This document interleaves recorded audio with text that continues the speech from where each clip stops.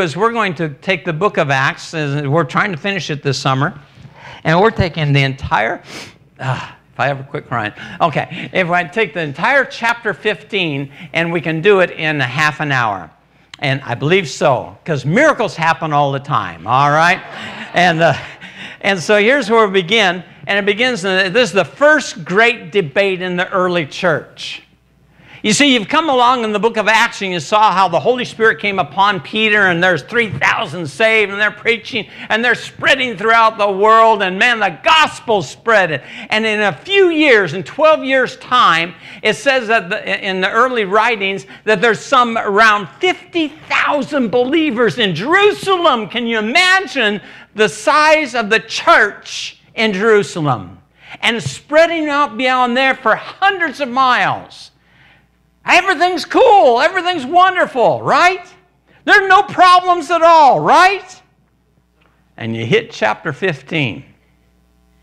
Paul has gone out on a missionary journey and he has preached the gospel and everything. And it tells us that uh, there, was, there was in the 14th chapter, in the last few verses, and if you pick up on verse 22, and it says, you know, that Paul had been out there and strengthening the souls of the disciples, encouraging them to continue in the faith, and saying that through many tribulations we must enter the kingdom of God. And when they had appointed elders for them in every church with prayer and fasting, they committed them to the Lord to whom they believed. And skip down verse 26. And from there they sailed to Antioch, where they had uh, been commended to the grace of God for the work and they had fulfilled.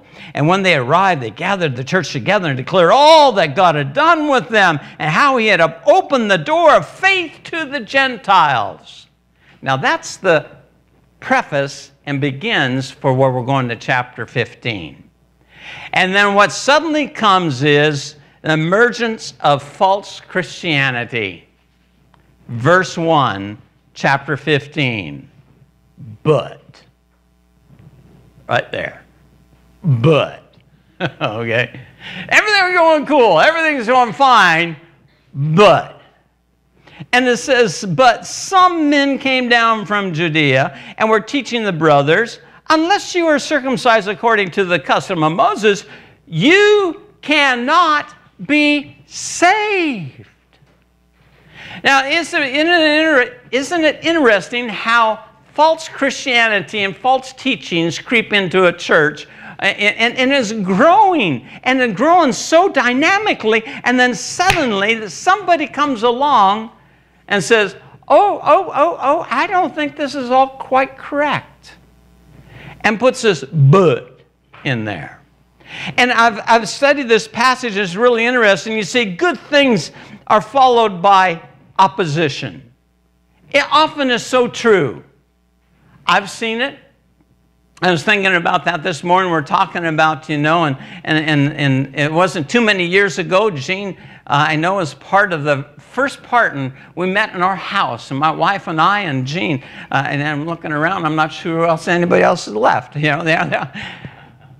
and, and, and it's all joy and wonderful, you know, for a while. And if it doesn't go well enough and smooth enough and long enough, you know, and then somebody says, well, you know, I think this and I think that, and, and you lose some and things happen. And, but through the grace of God, here we are a number of years later. And I thank God. And we've, we've had some of those buts, you know.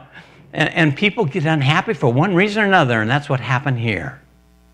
There are some saying, I, I just don't like the way things are going. I don't like that. What don't you like? Well, well, there's too many in the church now. I've heard that before. I remember that being pastor of a larger church, you know, and well, there I can I just don't want to go to this church because there's too many people, you know.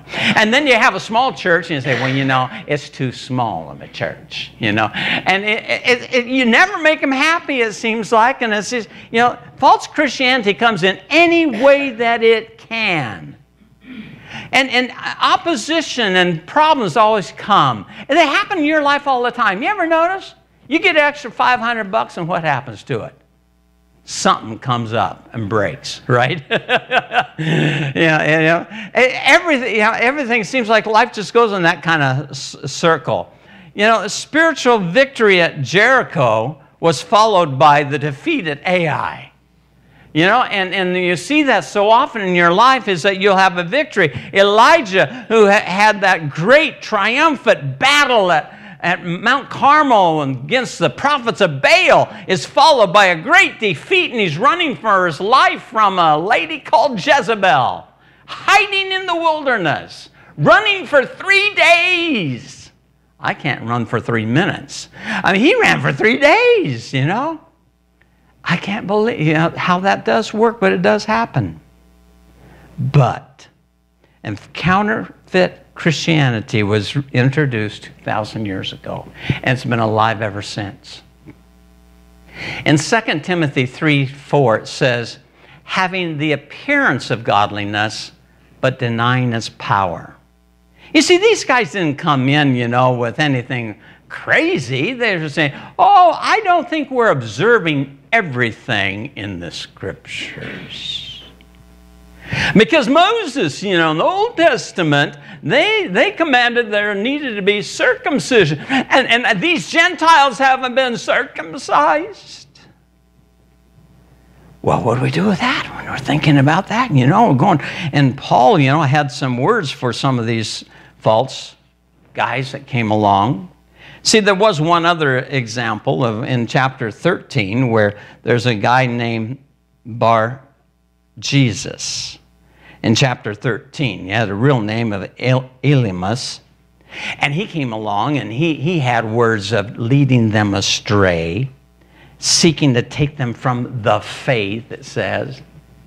And Paul was very frank with them, and he said very simply, he says, You're the son of the devil you're bringing in unrighteousness. You can't do that. You are making crooked the straight path to the Lord. And that's what usually happens when false Christianity comes in. It starts making things crooked. And so going straight to Jesus, you got to go through some hoops first.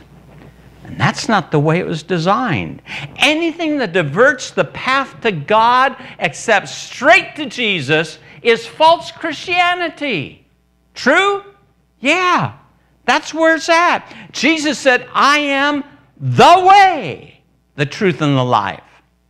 No man comes to the Father but by me. Did he add anything else? Do you need to add anything else? No. And don't take away anything either. That's what's so important about that. So here's, here's what happens, you see. Uh, these guys said, unless you, unless you do this, you can't be saved. Unless you've been circumcised, you can't be saved. Legalism started right there. It's been going on ever since.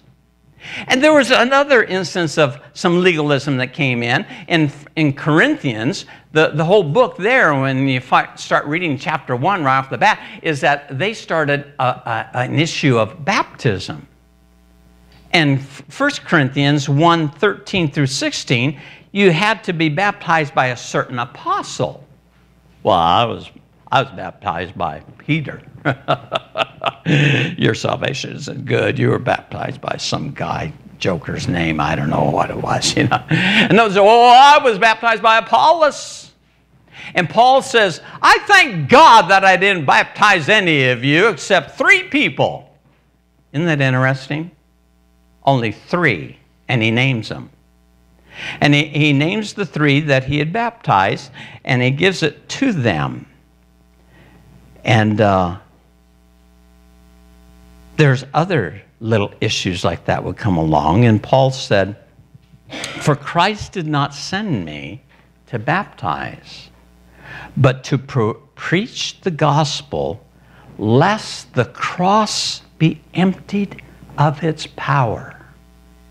And then he goes on to continue and starts dealing with immorality and uh, worshiping, uh, you know, of, of, of idol things when we put anything in place of God, and all these other things that they started adding and taking away from the true gospel, Jesus Christ alone. And so that became an issue. And the issue is very simple, it had to be dealt with. You see, why is there so many issues like this? Why does this come? Because Satan always wants us to get off the eye and get our eyes off of, uh, of the goal, and that is, is Christ alone. We got to add something. We got to do something. We've got to, you know, we, have got to do more. This just can't be that simple. We've got to make it more difficult than it really is. And so we counterfeit Christianity. Now, do you know how to know what the real, real Christianity and, and, and what a fake is? Do you not know how to know anything that is? And the second point that I have is, is basically is this is, is how do you know what true Christianity is? Counterfeit is a big business. I understand according to I've read the internet, if you trust the internet, uh, 250 billion dollars a year is the business of counterfeits in purses, shoes, electronics, toys, sunglasses, and pharmaceuticals. Those alone. Now there's a bunch of others, but those are the big, big six. And amazing, 250 billion. See, the problem is you and I can't think in a billion because you and I don't even know what a million is. All right? Uh, we, none of us have a million, and so to think beyond one million is really kind of hard to think of a thousand millions to get to a billion. And uh, yeah, that's wow, $250 billion in counterfeits. Counterfeits are everywhere. I remember going in Korea and preaching over in Korea, and you go out in the streets and uh, in the markets, and uh, you get these jackets that look like, you know, starter jackets. And uh, they're identical, and everything. And all you have to do is they say, ah, yes, ah, this is a starter jacket. We sell you label, you sew it on. you want a Nike? We get a Nike label. You want a this label or whatever label. And yeah, and they pull out of their drawer, you know, here's a little starter label, done just like the one that you, you know, and you sew it onto that jacket and you've got it. You see, then they're not selling you a counterfeit and they're all legal. They sold you a jacket that looks like a starter jacket exactly, and you sell you a label and you put the label on. Isn't that amazing? A, You know, a neat little thing. I remember going to New York, you know, and you go down to New York and, you know, a guy flashes his coat open. Now, no, don't think anything weird. He flashes it on. He's got a whole list of, you know, watches, you know. I've got a Rolex. You want a Rolex? I can get you one cheap, you know. And it's amazing. Counterfeit is huge. Then why would you think anything less that there's counterfeit Christianity that comes along? So in the church, you know, see one church says, well, you've got to you've got to do certain things. You've got to act certain way and be a certain way. You got to dress just right. You can't have no shorts on, ladies. You got to have long hair. And don't you have no makeup on? All right. And, and you, you have to have a baptism. You have to be baptized and you have to be a member of this church and this denomination and you have to give. In fact, in, in some churches, we want to see your, uh, your 1040 to make sure we know how much you are giving, to make sure there's a, you know, that, that's real. That really happens. And they start adding all these little things, you know. And so it's Jesus what? Plus something. And that's what counterfeits. So the church got involved in a lot of things through the years. And that's where in the dark ages, the Christianity got into, you know, well, you can sell forgiveness of sins. For so much money, you can go out, Gene, and commit about 10 or 20 sins for, you know, 100 bucks. Yeah, pretty good deal. Let's stick it in. And we'll go out Saturday night and live it high. And they did that. And you lost sight of Christ alone. Then lose sight of the reality of it. So Peter had some counsel for them on this issue. And says in verse 2, I haven't gone far, have I? Okay. It says, And after Paul and Barnabas had no small dissension and debate with them. Yeah, this became huge. This one is, you see, for you and I today, you know, this uh, circumcision, no big deal, you know. But you see, there were there are big deals today, other issues. But they made a big deal about this. And so they sent them on their way, and they sent them on, and they went to Jerusalem. And this is when the first great debate of the early church was going to be settled, and they had a council meet in Jerusalem to decide what is true Christianity? How are we truly saved? What is it that it takes to be saved? What is the essence of it? What's the bottom line to be saved?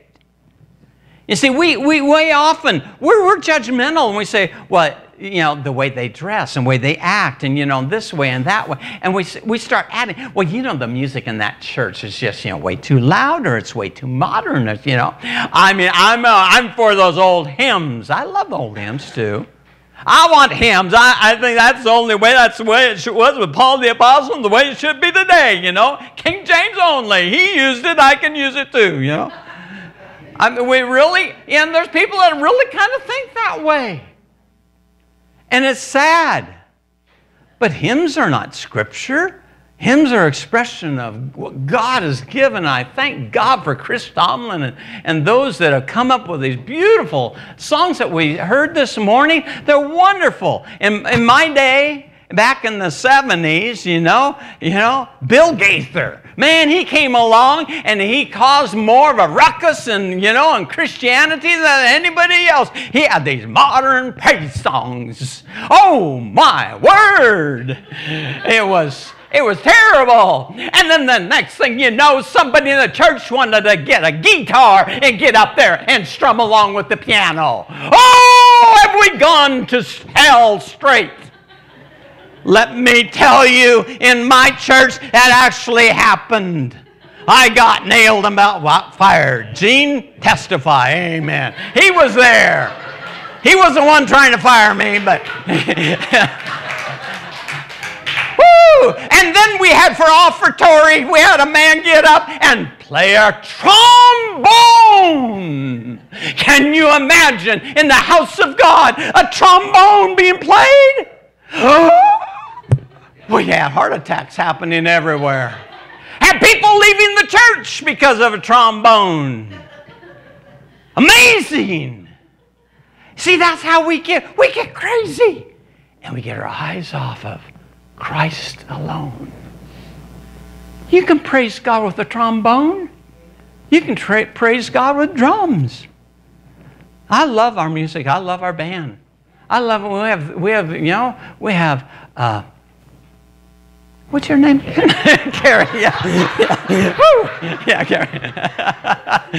we have, woo. What a senior moments, they do come. Carrie and the girls will sing, and it's wonderful to hear. And to hear Jesse and, and Michael or you know, a combination of our music, I, I, praise God for because it all lifts up Jesus. It lifts Jesus up. That's the point. That's where we find true Christianity lifts Christ alone. He is the center of everything we believe. So Peter gives some counsel. And his counsel is found in verse 7. See, we come a long, long ways now. Hang on there. Verse 7 After there had been much debate, Oh, they debated about the trombones and trumpets and guitars and everything else, all right, and drums. Oh, my, can't have a drum. Brothers, you know that in the early days God made a choice among you that by my mouth the Gentiles should hear the word of the gospel and believe. yeah, no way. Gentiles are allowed to believe? They're allowed to hear and believe. That's you and me, friend. Yeah. And Peter had learned that back in chapter 10, for sure, with Cornelius and the vision that God gave. He had learned this once and for all. Gentiles are to hear and believe. And so he says here, this is very important. And he goes on. And God, who knows the heart, bore witness to them by giving them the Holy Spirit just as He did to us. You mean the Holy, same Holy Spirit they get? You mean that guy that, you know, they haven't been Christian very long and I don't think they're living the way they should, you know. I mean, they got the same Holy Spirit I got. I think I got a better Holy Spirit than they got. They got a cheap one. No. No. They may be younger and they may not be as mature, or maybe they haven't learned some things, you know. Oh, but, uh, but you don't know what I know about them. I know what they've done, you know. Isn't it amazing how we go? Yeah. Oh, brother, it's the same Holy Spirit. It's the same one Holy Spirit. There is only one. He comes into all of us. God chose the Gentiles to hear and believe, and God knows the heart. So, number one, don't you go judging. Let God do the judging. Okay? Somebody doesn't act or behave or whatever. Hey, we're, we're, we're to be messengers. We're to be out feeding the flock, not try to judge the uh, flock. Okay? We just feed the flock. Just keep feeding them. Just keep feeding them. Just give them the word. Just give them the word. Just teach them the word. Just give them the word, the word, the word, the word. And they'll grow if they'll eat. you know? And they get a feeding on it and they'll mature and they'll become the leaders. And so he goes on there and he says, and, and, and in verse 8, and God knows the heart and bore witness with them by giving them the Holy Spirit, just as he did to us, and he made no distinction between us and them. Jew and Gentile are the same before God. Are Jews special? In some ways, they're special in the fact that they've been called out by God, chosen for them to be the line, the descendant in which Jesus be born. Are they better than us? No. Are they better than any Gentile? No. In fact, they're held more accountable because they've been given more. Woo, just like you have. You are held accountable because you know, and you're held accountable to those that are around you. And he goes on and he says, having cleansed their hearts by what? What's the word? Faith. Faith. That's an important word. I wrote it down here. Faith. Having cleansed their heart by faith. You see, it's really cool in what uh, what Peter is doing, he's given just a conclusion of things here and putting on how important it is that we understand. He has given, here's the essence of things. God chose, okay, God knows the heart. God gives the same spirit to every believer. He cleanses the heart by faith, and we are saved by the grace of the Lord. Look in verse 11. But we believe that we will be saved through the grace of the Lord Jesus, just as they will. Okay, and that's where I put the word grace. You see, the, the point that, uh, that's important why I put one up here and one down here is this this is God's part, this is man's part. Got it? God shows grace. And it's by His grace that you're saved. What's your part? Faith. Now, in between there is how we get saved. Now we go to the second or the next part, and that's James' counsel.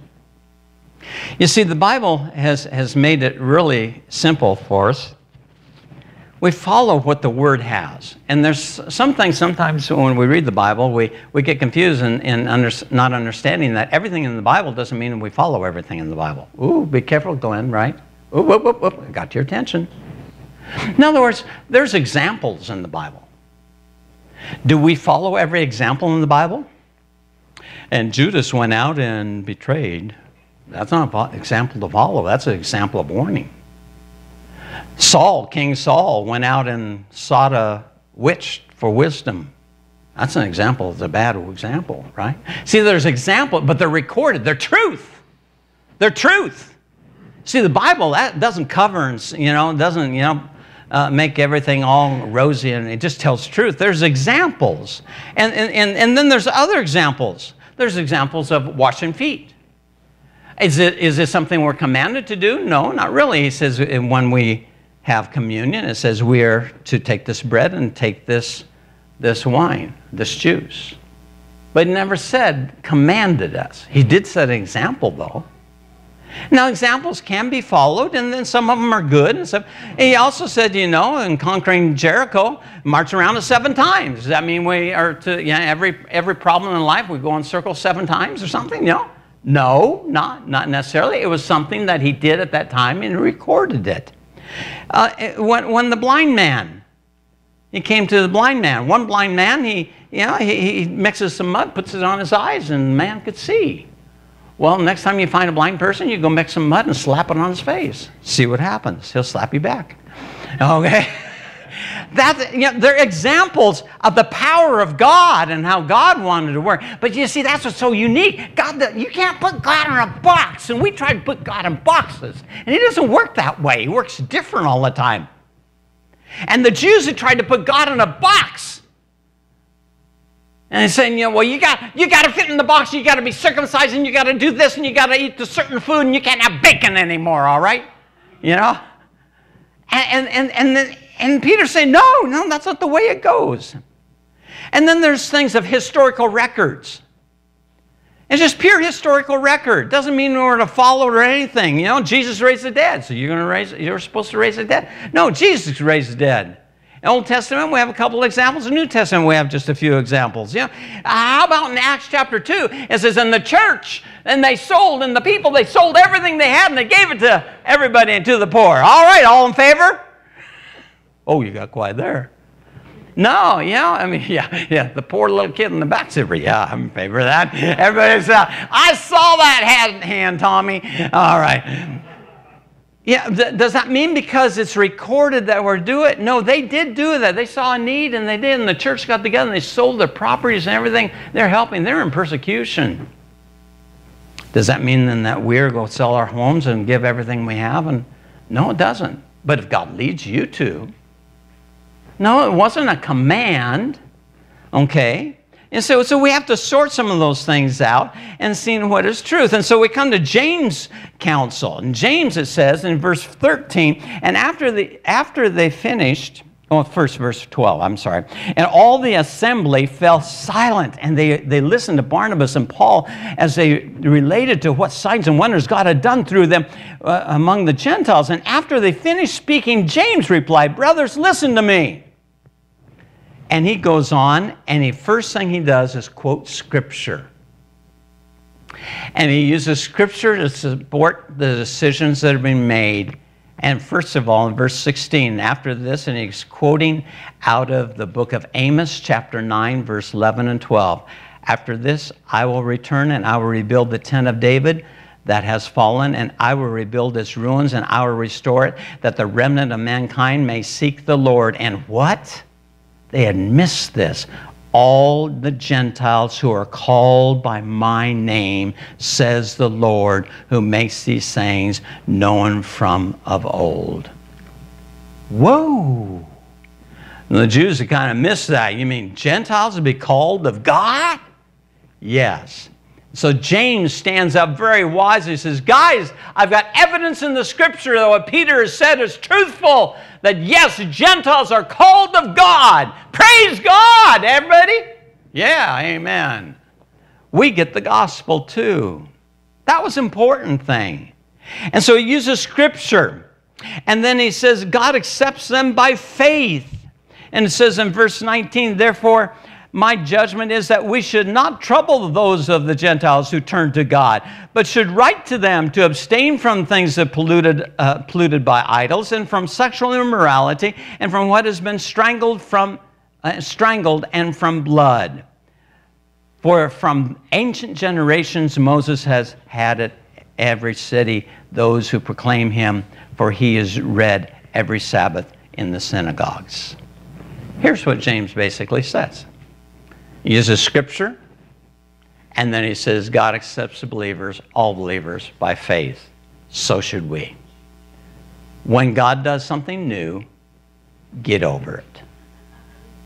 Now, That's my interpretation of saying what really it says. And so God changed things.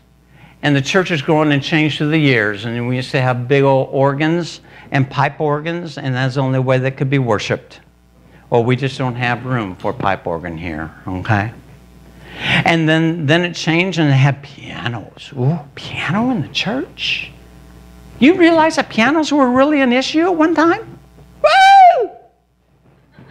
And then they went and did something, the craziest thing they ever did in churches. They put chairs and not pews. Oh my, those liberal churches. I saw that in my day. Chairs, can you imagine? They move. They move. They're not fastened down. The solid rock of the pew. I know you think that's silly, but that used to be a real issue. And then we go on to these newer issues that we have today. And it's also foolish is that we lose. And so he gives some practical advice. And the practical advice is this. And he says, guys, what you do, you don't want to be offensive to others. And there's a few things that God said in Leviticus, he says, I think are still good. One is abstain from anything that has to do with idols. Well, that's good because Jesus says that. Seek ye first the kingdom of God, nothing else. Another thing that's very important is that, that it says that we're to stay away from sexual immorality. Yeah, Jesus commanded that too. Anything that's immoral, sight, thought, whatever it is, or act, stay away from that. And then it says, and whatever strangled or, or drinking of blood. Leviticus had some rules about that because God said, life is in the blood. Don't drink it. That's where it's a very, very important thing. It's the most offensive thing you could do Jew, to, before Jew, is to do that. So just stay away from those things. And we'll all be a family and we'll work together just fine. The conclusion of, of this was this, is that out of chapter 15, and just in just a matter of just a minute, let me take this. There was, there was three solas that came in the Reformation. Martin Luther in 1517 and uh, October, what, 31st of, of that year, in the doors of Wittenberg in Germany, he nailed the 95 Theses. And the source of those 95 Theses was what he established as three solas. Now, solas is a Latin word for three alones or onlys. It's a hard word to, to get into English, but it's only or alones.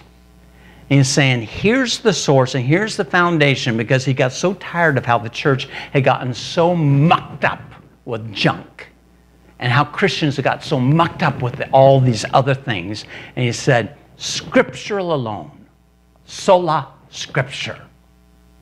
Grace alone. Only grace. Faith alone. Only by faith. If I were to say to you this morning, here's your salvation, a gift, a box. Salvation to whosoever, okay? Salvation, eternal life. And, and salvation is something that inside that box is all these things there's peace, there's purpose, there's victory over any sin. There's love when hatred is abounding in this world. There's love, overpowering love in this box of salvation. There's patience when you run out of it. Mm-hmm. Amen. Amen. Mm-hmm. Okay. Power when you are weak. Forgiveness when you know that you've done wrong and willing to forgive others is in this box. That's what salvation is. And it's from who? Jesus, who paid it all. You see, every present is to and from. And as the Bible says, it's a gift of God, right? And that's what salvation is. And so when I, I take this gift of salvation, you see, God's part is grace that He offers this box, this gift to you. Your part is faith to accept the gift. Nothing else is to be added. Nothing. In 1900, the theologians said, Martin Luther was good, but we'd like to add two more. and that's the way it goes. But it really wasn't to change the three, but to expound on. And number four and number five, sola number four, Christ alone. And sola number five, sola de gloria. Sola de gloria. In other words, only glory to God. And so the two things were, were very important is the saying, only Christ. And that's where the song that we sang this morning comes from. And we're going to close our service with it. Christ alone. And the band's going to come right now. We're going to sing this. And I'm going to ask you. I look over the crowd and I look at all of you. Is, is your faith in Christ alone? Is there anything else in your life that you're counting on to get you to that gift? Is there anything at all that you have, you have substituted? You say, well, I give a certain amount, I do a certain amount of what? No, is it Christ alone? When I say to you, how do you know that you're saved? How do you know that Jesus has given you eternal life? If your answer isn't Christ alone, there's something wrong with your Christianity and you're following a false Christianity. Christ alone. He is our rock. He is our hope. He is everything. I can't add to that. There's nothing I got. What are you going to put? How much is salvation worth? A thousand dollars? A hundred thousand dollars? A billion dollars? A trillion dollars? How much is it worth? What do you got to add to that? Anybody got a trillion dollars? It's it's priceless. It can't be bought because it's already been. Let's stand. Let's sing this song.